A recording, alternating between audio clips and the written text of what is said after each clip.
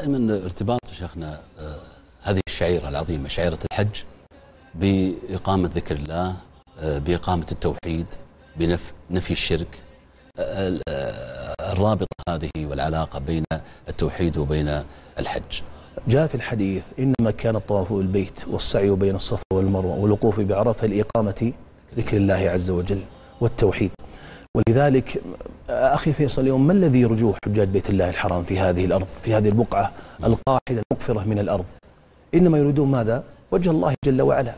لم يأتوا لطمع في أمر من أمور الدنيا لا لمال يرتجى ولا تجارة تكتسب ولا لمطمع من مطامع الدنيا إنما أتوا مخلصين ممحضين مفردين النية والعبادة لله عز وجل. ولذلك الحج من الأركان والعبادات العظيمة التي يتقرب بها العبد لربه جل وعلا يتجلى ويسمو فيها ماذا؟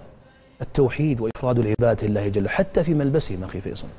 لا يتميزون. كلهم على لباس واحد وكلهم بلسان واحد لسان تهليل وتكبير وتلبية وتحميد. ولذلك كلهم في هذا على قلب رجل واحد.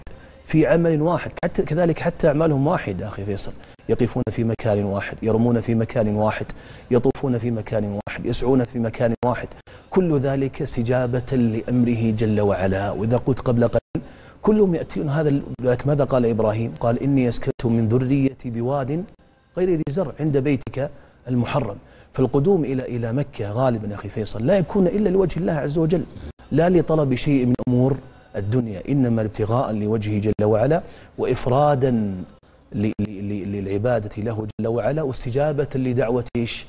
نبينا إبراهيم عليه السلام الذي قال الله عز وجل وأذن في الناس بالحج يأتوك وعلى يأتوك رجالا وعلى كل ضامر يأتينا من كل فج فج عميق. فلا شك أخي فيصل أن الحج من أسمى العبادات التي يتجلى فيها مبدأ التوحيد وإخلاص النية والمقصد له جل وعلا.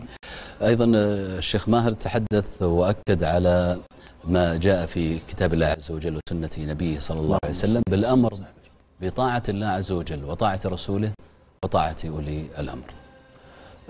أخي فيصل تعرف أن أن أن أن هذا هذا الدين جاء لإصلاح حياة الناس ومعادهم.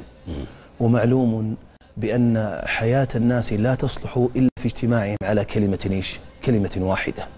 لأن اختلاف الكلمة وتفرق الجماعة يحدث فيه من المفاسد ما الله به ما الله به عليم. فبافتراق الكلمة تذهب الأموال وتزهق إيش الأرواح وتضيع الحقوق وتغيب المبادئ والأولويات. ولذلك ماذا قال الله عز وجل وأطيعوا الله وأطيعوا الرسول وأولي الأمر وأولي الأمر منكم. ولذلك لا بد أن يكون المسلم حريصا في أن لا يطيع إلا الله عز وجل أولا وآخرا. ثم يتمثل سنته صلى الله عليه وسلم.